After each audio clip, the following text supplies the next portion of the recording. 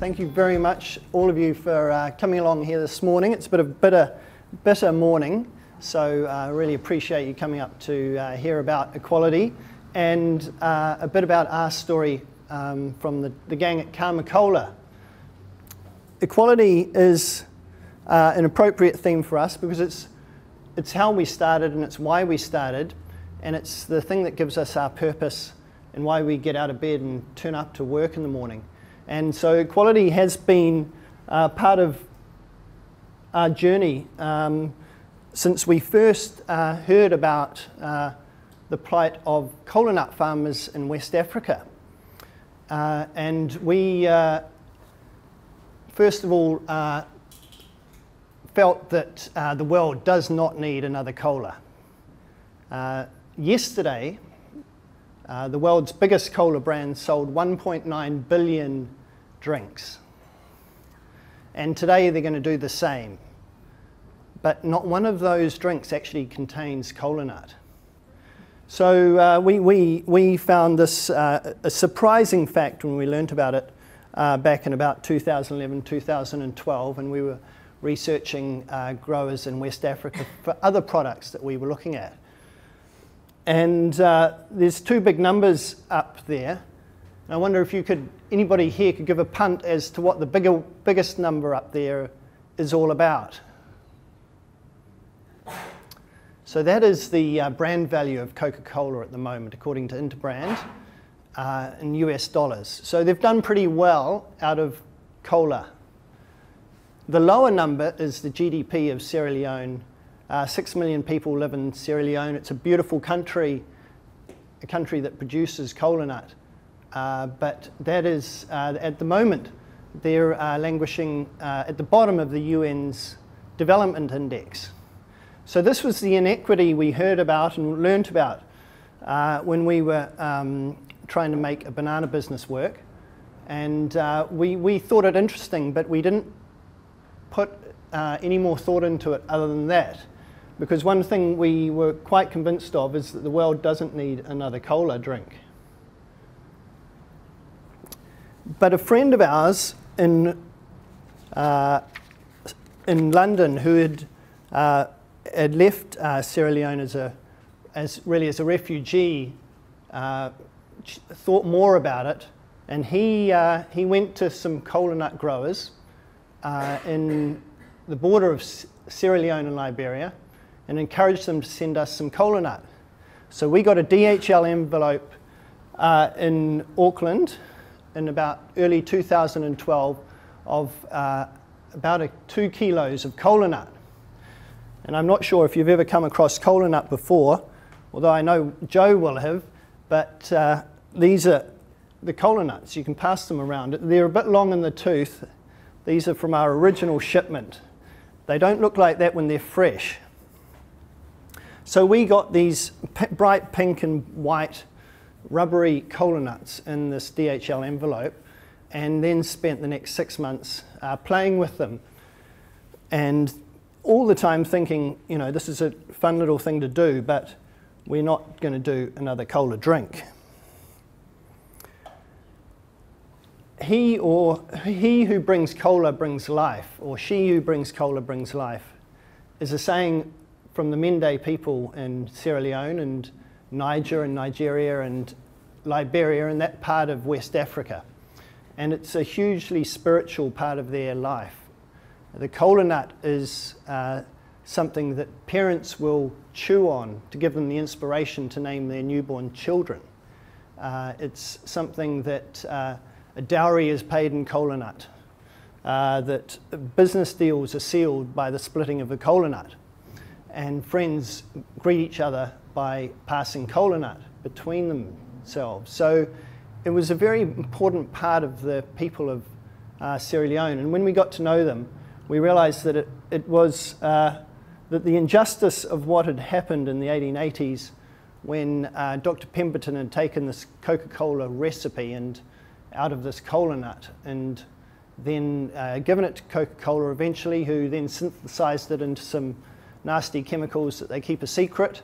Uh, that injustice and that inequity sort of grated on us. So when we eventually came up with a cola drink that we enjoyed drinking ourselves. We started giving it to a couple of cafes locally, and it took off from there.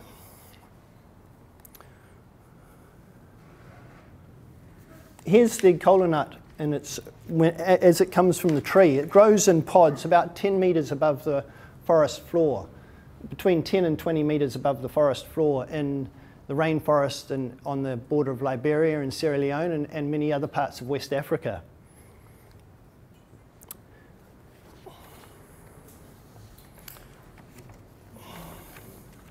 So every bottle of Karma Cola contributes to the people who grow our cola nut. Selling an organic, real cola is our way of giving back to the people who originally started the cola industry. This is our purpose, and that's why we call ourselves Karma Cola.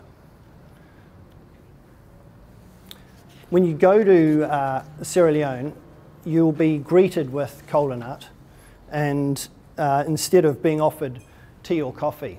And, and if you're not, you better watch out. It's an intriguing place and it's a beautiful place to visit.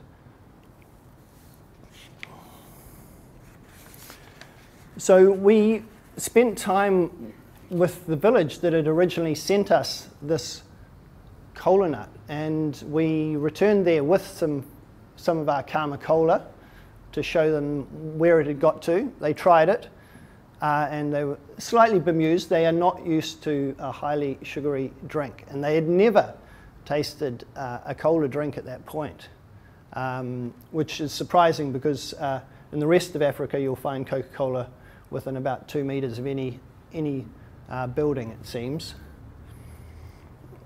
But what we realized that trading cola nut with the, the people of these villages was not sufficient and was not going to you know, redress the imbalance that had been created, as we saw with those two big numbers, that we needed to go way beyond that and, and way beyond fair trade, way beyond just simply being organic.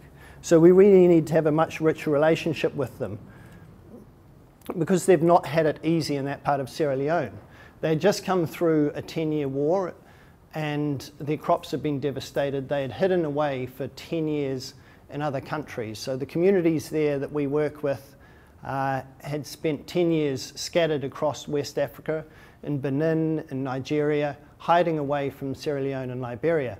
It had split up all their families. Many of their, of their families didn't return or never returned. And their crops had been devastated.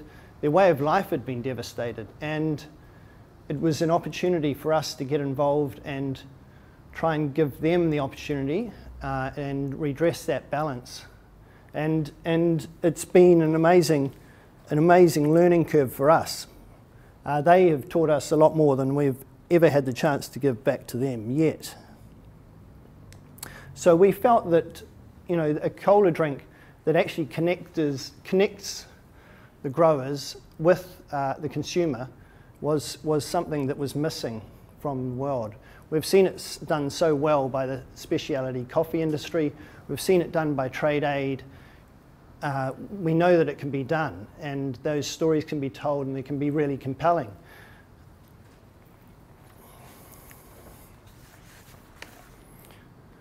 So three of us kicked it off.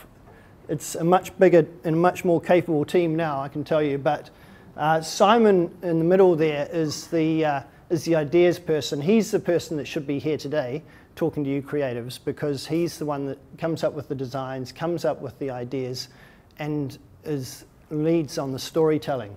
Chris on the, on the right there, my brother does the logistics and operations, and I do the boring backroom stuff. So it's really, we're united throughout Karma Cola and all good in, in that central bit is, is our purpose, and everything uh, leads to that. The Karma Cola Foundation sits in the middle, it's a separate entity which uh, has power over our business. So under our constitution, Karma Cola Foundation actually can call the shots on ingredients and the business side of the business isn't allowed to uh, re reject their uh, opinion or they, they can stop us putting a product to the market because they're not convinced about uh, the, uh, the provenance of any ingredients. And uh, we've, we've done it that way purposefully so that, um, you know, five, ten years, 20 years down the track, that um, the, the purpose that we've tried to set up can't be undone by other people that may get involved or new investors or that sort of thing. Weirdly, uh, it all started with bananas. In 2010, Simon, Chris, and I were sort of uh, mucking around on a piha beach and uh, wondering what we would do next with our lives. And we tried to bring in bananas from Samoa, fresh bananas. We had this idea that tropical fruit um, shouldn't have to come from halfway around the world when we've got these extraordinary gardens in Tonga and Samoa and Fiji and Papua New Guinea uh, and Melanesia and in the Solomons, and, and, that that's where we should, you know, our tropical farms for New Zealand and Australia should be there. Why should they, you know, come from South America? And that's where originally uh, those countries had, had made most of their income. So we tried to import bananas from Samoa and it, was, um, it, it wasn't successful. The bananas couldn't handle the fumigation from MPI and uh, we had a Banana Gate incident in West Auckland where uh, a, a, small part of um, Titirangi had to be evacuated uh, thanks to uh, a banana dump that drove a lot of wasps and rats into the area over a, about a month. Um, thanks to my uh, decision to be cheap and avoid the dumping charges of dumping uh, five tons of bananas. Uh, at that point, no one gave us really much of a chance of selling the same bunch of bananas, the bunches that Elise kindly used this morning for your breakfast, uh, for a dollar more. Know, people said, you know, bananas are $2.99 or $1.99. You try to sell them for $3.99, then uh, people are just going to walk away. But we persisted. We, we put a container on the water and decided that we would find a way to tell a story and uh, and get, the, get these 20,000 bunches of bananas that come in these containers out to market within seven days before they go off. So the pressure was certainly on. And uh, we managed to sell about half of that container at the full price, and that was enough to give us the confidence to get the next container on the water. But it was a tough going, and I, I don't, uh, I don't advise anybody going to the fresh fruit industry too soon but uh, we, we've, we've continued to do it.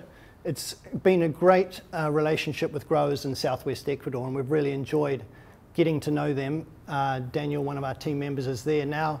We have uh, pretty much uh, one of our team on the ground there at any point um, and working with the growers and understanding their lives. Uh, and ironically, again, it was the banana growers who actually set up our business. They knew the logistics better than us they uh, have got so sophisticated that they are trading foreign exchange. They are, uh, they are negotiating with shipping companies, and they were doing all the things for us from um, shacks in southwest Ecuador that we didn't have the sophistication or the knowledge to do, just to get our business off the ground. So we have, have, have felt that we just need to keep that going. in the time we, we uh, We've sold over 10 million bunches now to an amazing group of New Zealand consumers, and we've had massive support from Common Sense Organics and Moore Wilsons, from Thorndon New World, and from uh, Huckleberry Farms in Auckland, and, and, and a whole group of New Worlds and Pack and Saves across the country. Uh, and in that time, we've been able to return 1.2 million in funding to schools, to medical clinics, to a special needs school in Ecuador and uh, you know we're putting about 2,000 children through school each year.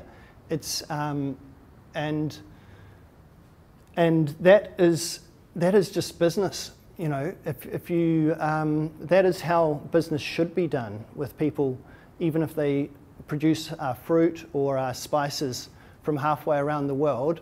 Um, if we do business here, we expect to be able to put our kids through school. We expect to get medical care. Um, so we're doing nothing more than what a regular business should be doing. And you know, that's how we see it. You know, you need to treat the people who grow your fruit from halfway around the world as if they're doing it from next door. And it's the way that we've always thought about uh, our businesses. You know, Wilson here, who has been here to uh, Wellington, mainly because we, we want to make the connection two ways. You know, it's often uh, business people from New Zealand or Australia starting an ethical firm will spend a lot of time in market, uh, in, in origin, working with their growers. But uh, we want to make it two ways. So the growers come out here and see their work as well and see their, see their uh, fruit on the shelves. You know, they spend time in Moore Wilson's talking to the staff there. They spend time talking to consumers. They meet the common sense staff. They spend time in store. And Wilson and his daughter Kelly, who happens to be the first person in that part of uh, southwest Ecuador to ever go to university, um, have, have spent time in Wellington. And, and it's just a great part of the storytelling. It gives us more content, more material to get out to our followers. So, how did we make uh, a business? Uh, you know, how, how are we trying to make a start, a start to a cola business that has to take on uh, a company that has four billion annual advertising budget? Well, the first step is is is all with Simon, and it's to make it make us look good on the shelf. The quality of our product and our purpose is all we have to convince people to buy our, our drinks and to make our cola famous. So the first thing we do is to try and get their attention on the shelf. On the uh, bottle here, this is Mummy Water, and she was, uh, she was uh, put together by an, a PR artist, Beck Wheeler. So Beck, um, we taught, we, we, uh, we told Beck all about our stories in Sierra Leone. Now Mummy Water is a water goddess that lives in the Moa River that runs through the communities that produce uh, cola nut. She's sometimes good, she's sometimes bad. She uh, can decide whether their crops are going to fail or whether they're going to uh, provide for the, the villagers for that year. And she's a huge part of their spiritual life. So we felt that that was kind of quite a neat part of the story. You know, in every bottle of ours is a treat. You know, there's good and bad in every bottle. It does good, but it is a treat and it does contain sugar. So we wanted to reflect the fact that uh, there's good and bad in every bottle. And Mummy Water also takes us and the consumer back to Africa. You know, it's trying to communicate our story and why we exist on the bottle in a way that means that we don't have to be in uh, Copenhagen in a cafe and try to tell our story because we just don't have the budget to do that. So we use this, this our, we try to do our storytelling in our pictures and in our devices and our logos so we don't have to do it. And, you know, we want to look great, so people pick us off the shelves, uh, even if they've never heard of Karma Cola. And, and Gingerella and Lemmy have followed on those themes, is that we feel that the bottles themselves have to look beautiful. Uh, and, you know, to, to most part, we seem to have, have got onto something there. Next, you know, we've got to taste great. You picked off the shelf, you know, you want to be make sure that you're going to make a fantastic experience um, when people drink your drinks. So we make sure our supply chain lives our values completely wherever we get our ingredients. And we just use real ingredients. We went back to the original recipe of the 1880s, looked at and decided how we could get real ingredients to reflect those, uh, th those herbs and spices that were originally used by Dr. Pemberton and have never been used. And things taste a whole lot of better when they're not filled with E numbers or high fructose corn syrup or a whole lot of things you can't pronounce. So, you know, we've, we've got lime oil and orange oil, we've got coriander, nutmeg, barley, and cinnamon and vanilla all in our drinks, and this is how we get it. You know, the, this is the vanilla that we get from Sri Lanka, and we uh, turn it into into the syrup that makes our drinks uh, uh, that we produce now in three parts of the world in Austria, Somerset, and in Tauranga. And of course, sugarcane from India. And by having that purpose and, and the story, we've been able to get others to tell it for us. Earned media has been very good to us uh, throughout the world. Earned media has driven awareness in, in a way that we could never possibly do without that purpose or without that story.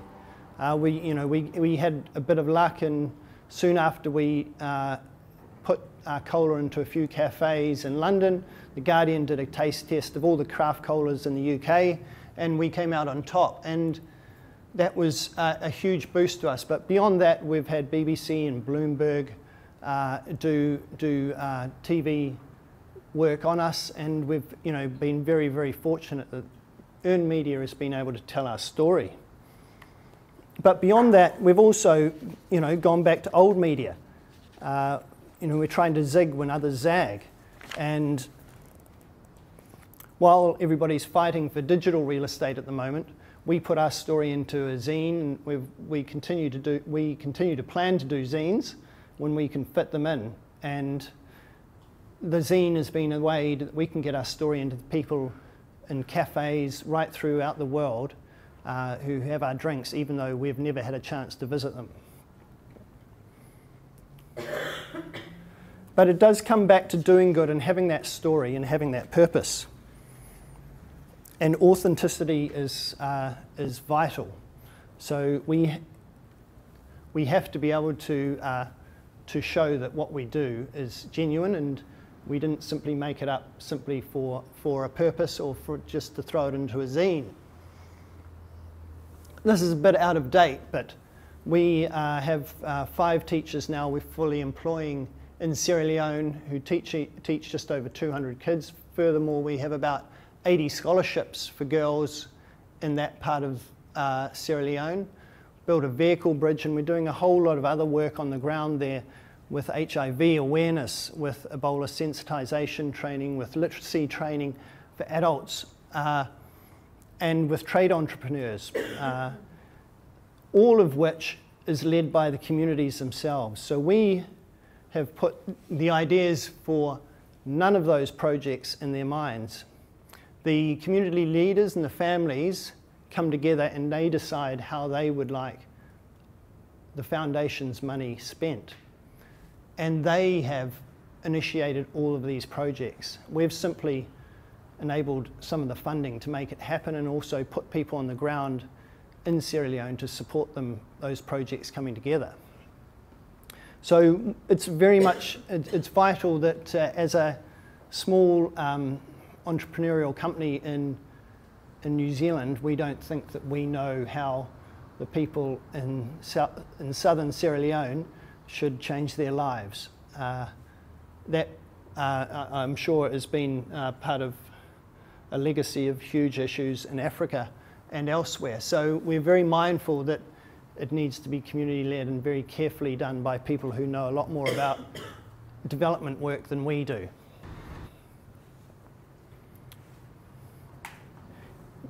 Ed education for women in Africa is rare, and it's very rare in Sierra Leone and Liberia, where our communities are. It's really tough. Um, and we, uh, as three guys, all with daughters, we found that uh, quite confronting, that in inequity of opportunity.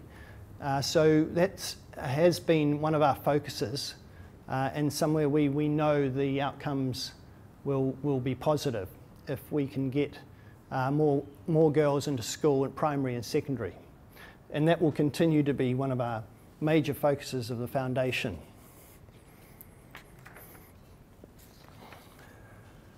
Here's one of the HIV awareness troops. They're, uh, they're basically actors and actresses who get out there and tell the story amongst the communities. And they do a whole lot more than just HIV awareness, but in terms of uh, adult literacy classes and a whole lot of things.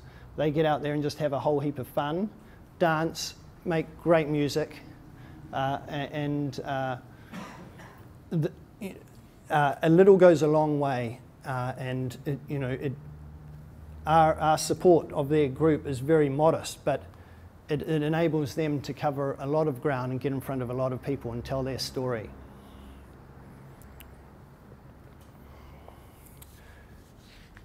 But equality also comes back here home in how we look after our people and make sure that we attract amazing people to Karma Cola, and we've certainly been able to do that. You know, one of the things that we've always done is that we know we need people that are much brighter, smarter, and quicker and more creative than us, and we've been able to do that. When we've got a purpose, and when you when you're going somewhere, and you can tell the people where our what our vision is and what we're about, then we've been very lucky in London and Auckland and Wellington here to be able to attract amazing team members. Uh, you know, living wage employer, uh, things like ESOP, employee share ownership programs for everybody to make sure that they're part of the journey. They can enjoy the roller coaster and see where we're going. And all of those sort of things have just um, make good business sense. They're not about giving anything away. They're just, uh, that sort of empowerment just is just good business.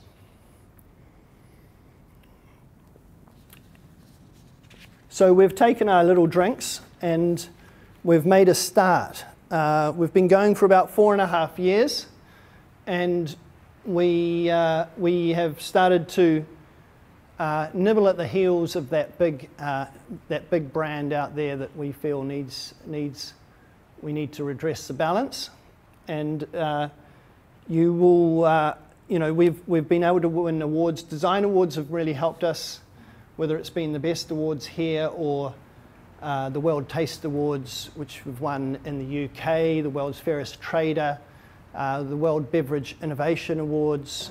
Um, all of those have helped us be able to tell our story, given us some media, given us uh, some, some kudos so we can get in front of uh, distributors and, and give them the opportunity to sell our product. And you know about the uh, the sugar debate. Obviously, it's something that is very much on our minds, and it was where we started, and it was the thing that uh, gave us a, a, bit of concern. You know that we don't think the world needs another cola drink, but we are pretty convinced it needs a better one, uh, and we would love you to substitute um, and, and everybody has to substitute their, uh, their corporate chemical colas for uh, a one that's made out of real stuff. And this is our new uh, natural, no artificial sweetener, uh, zero sugar cola, which is launching in the UK this month and will be here in, the UK, in New Zealand um, by September, uh, provided our production gets together that's a bit of the story where we've got to. We're halfway up those dotted lines at the end, and this year is uh, ahead of ahead of forecast, which is great. Um, mainly thanks to the United Kingdom, which has now taken over from New Zealand and is uh, forging ahead at, uh, at, a rate we can barely keep up with. Um, but it's been a lot of fun. We've never done an international trade show. We've never actually pitched to a distributor who hasn't come to us we went to the United Kingdom by mistake because Simon was at the London Coffee Festival and got a bit carried away. And uh, largely that is uh, how we've got around the world so far. Um, and we're in about 21 countries at the moment um, after four and a half years, and it's, uh, it's been a little bit um, nuts. And at times, um, our um, long-suffering uh, board members have, um, have been pretty convinced that uh, no one knows what is going on in Karma Cola. and, um, uh, and some of these places we've found, about, found out that they're selling our product um, a couple of months after they've started selling it. Uh, so um, we haven't always been in control and we don't intend to stay completely in control because it is the thing that keeps us going and keeps us on, our, on, on the edge.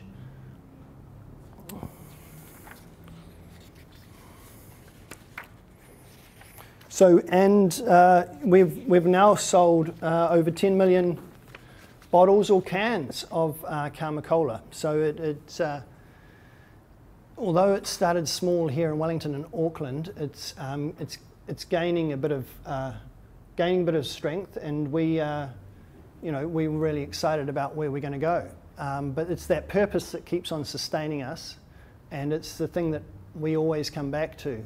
Um, it's uh, the foundation is the center of everything we do, uh, and and as I said, it's the people of Sierra Leone who who are driving us to to sell more, and it's the people in, in our villages who which we've also extended into support into Sri Lanka and into India, Papua New Guinea. We're now looking at Fiji, and doing projects there that uh, to support the growers who are actually doing all the hard work. Uh, we just get to do uh, the much more straightforward task of getting bottles on shelves and cans on shelves in different parts of the world uh, in order to try and address some of that imbalance that we, as, as uh, crass commercialisation has, has, has achieved over the last 100 years, and try to undo some of that damage and redress the balance. And when it comes down to it, even if you were some sort of cynical capitalist, you know, hedge fund manager in New York, and you wanted to start a beverage company, then you know you would do it this way if you really thought about it and you understood uh, the supply chain, you understood what consumers were looking for. Because in the end, uh, we don't have the advertising budgets of the big guys, and if you're going to start a business, you need to start with purpose and with a story to tell and it means that you can take on the big guys and, um, and, and you can make that change. So, uh, you know, if you take away anything today, it's that um, being good is good for business. And, uh, you know, our business hopefully one day will be healthy and we will be able, but that will be only on the back of the fact that we've got authenticity and a great purpose at our heart. So thank you very much for hearing me out on that. Thank you.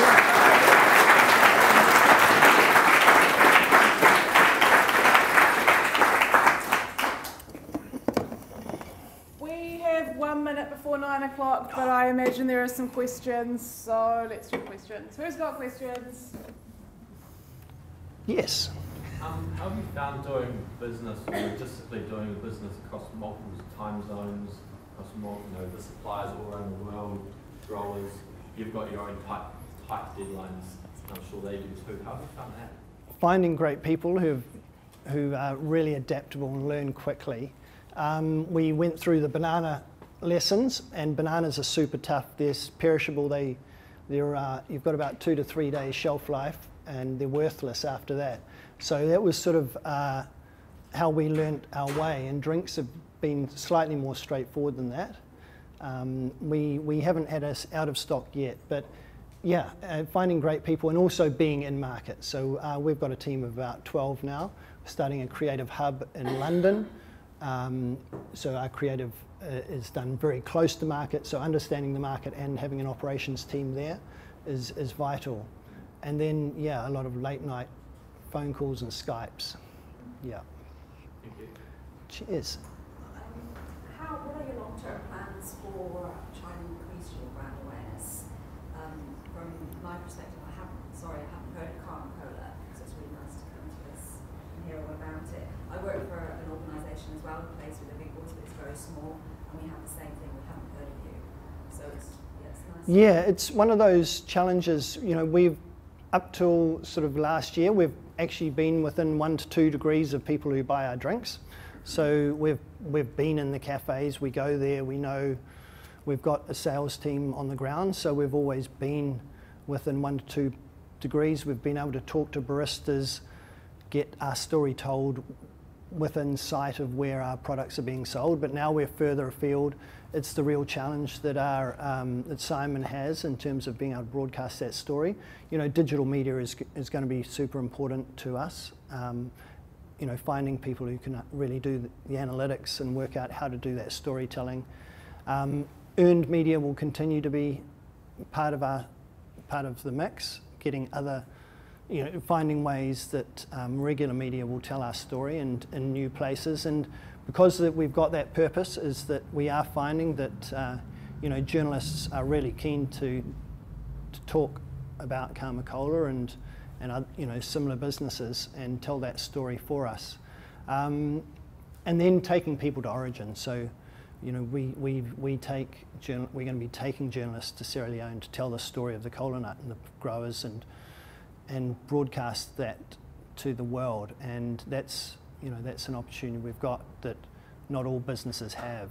Um, yeah, so getting journalists on the ground and inviting them to Sierra Leone to say, hey, you know where kola nut comes from? Um, yeah, that will be one of one of the things. But yeah, it is. It's a constant challenge. It, you know, the content marketing is going to be vital as well. Um, yeah. Any other questions? Um, yeah, I love the, the story that you have around your kind of central product, but you've obviously got a few other drinks um, on your lineup now. And um, do you have plans, or are those drinks supporting local um, suppliers in New Zealand, or is there any? Yeah, we, we, we do have, we have a range of drinks that are, that are the low sugar drinks that are come with organic fruit from New Zealand and other parts of the world and there are little, uh, there's sort of a light bulb bottle um, uh, uh, sodas, but with um, Gingerella uh, is uh, working with growers in Sri Lanka. So the ginger comes from Sri Lanka and we work with a group of women growers in the highlands in Sri, Sri Lanka who produce uh, ginger, and um, likewise, um, we, we have vanilla growers as well. And the sugar in the drinks is produced with a cooperative in India. So we, we haven't always just focused on New Zealand supply. We want to be global, and uh, we also want to address the equity, inequity of, of third world producers who haven't had the chance to, to, to get all the basic uh, returns from a day's work that you would expect and able to, and you know in, in their inability to be able to send their kids to school or get basic medical care. So that's one of the conscious things that we've done that we have gone to the far reaches of the world to find some of our ingredients. And also because uh, you know not, there's not a lot of organic ginger grown here in New Zealand. Yeah, or kola nut yet. in, Yes. Um, I know you said that in Sierra Leone they don't really drink kola, but in other parts of Africa they do. In that map that you showed of where Karma Cola is distributed, I noticed there wasn't really any um, African countries in there. No, we haven't. We haven't sent much there. We have sent um, a couple of pallets to the president of Sierra Leone and to the British High Commissioner because they want to talk it up. Um, but there is you, you get a bottle of uh, Coca-Cola for about 20 cents in uh, most of Africa, and uh, we simply couldn't even do it for barely 10 times that amount. So that difference in price point, um, you know, is, is not something that's going to make it terribly attractive to a lot of places um, in Africa yet. But we would love to be there, and, and also certainly in a couple of great cafes in Freetown and Sierra Leone we, we, we do intend to be there. Um, yeah. Do you think will change in the future? Yeah, I mean, we, we hope to, but at the same stage, we don't want to force another sugary drink on them if they're not, you know, if they're not into it either. So, yeah, it, it, yeah, I'm sure it will change over time, but um, yeah, at this stage, it hasn't been a focus for us, and also the logistics are quite challenging in getting it back into, into Africa. Well, we have some thank you things here for you. Oh, wow. From some of our wonderful sponsors. So thank you Thanks, for your time. thank you very much. Cheers. thank you. Thank you.